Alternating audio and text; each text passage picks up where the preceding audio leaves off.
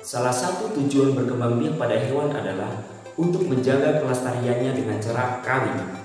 Tetapi ada loh hewan yang berkembang biak dengan cara tak kawin. Kabar saya.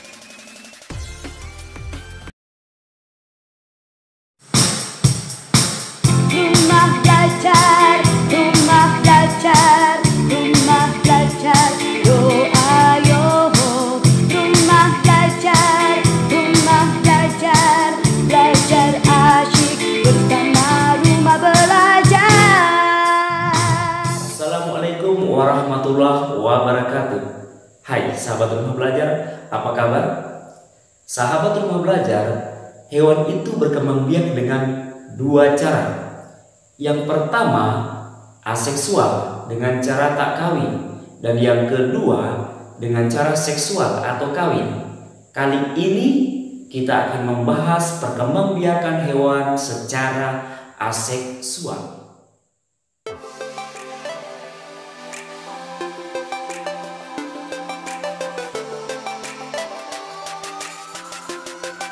Perkembangbiakan pada hewan secara aseksual dibedakan menjadi tiga. Yang pertama membentuk tunas, yang kedua fragmentasi, dan yang ketiga partenogenesis.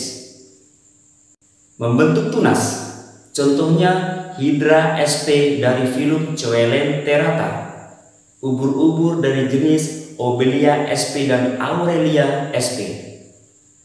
Awalnya salah satu bagian dari tubuh hidra ini terbentuk tunas. Kemudian tunas ini akan membesar dan memisahkan diri dan terbentuklah anakan baru. Demikian seterusnya. Yang kedua fragmentasi, contohnya planaria. Hewan berukuran 5 sampai 25 mm ini berkembang biak dengan dua tahap.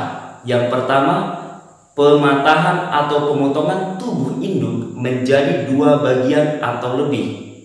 Yang kedua, regenerasi, yaitu setiap potongan akan membentuk bagian tubuh lain yang tidak ada pada potongan itu. Jadi, walaupun dipotong menjadi tiga atau lebih bagian, maka bagian yang terpotong itu akan membentuk tubuh lain sehingga menjadi planaria utuh. Yang ketiga, partenogenesis. Partenogenesis adalah bentuk reproduksi aseksual di mana betina memproduksi sel telur yang berkembang tanpa melalui proses fertilisasi. Partenogenesis secara alami dapat terjadi pada hewan lebah, semut, tawon, kutu daun, dan kutu air. Pada lebah, ovum yang dibuahi akan tumbuh dan berkembang menjadi lebah betina. Sedangkan yang tidak dibuahi akan tumbuh menjadi lebah jantan. Sahabat rumah belajar, perkembangbiakan aseksual atau tak kawin pada hewan itu dibedakan menjadi tiga. Yang pertama, perkembangbiakan dengan membentuk tunas. Yang kedua, fragmentasi.